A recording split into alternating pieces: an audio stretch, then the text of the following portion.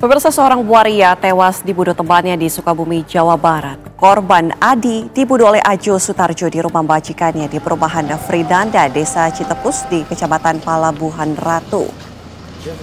Korban Adi dibunuh oleh Ajo di rumah majikannya di perumahan Fridanda di Palabuhan Ratu. Korban baru mengenal pelaku dan dijanjikan akan bekerja di salonnya. Pelaku membunuh korban karena korban menolak berhubungan seksual. Usai membunuh korban, pelaku ditangkap saat akan kabur ke wilayah Bogor.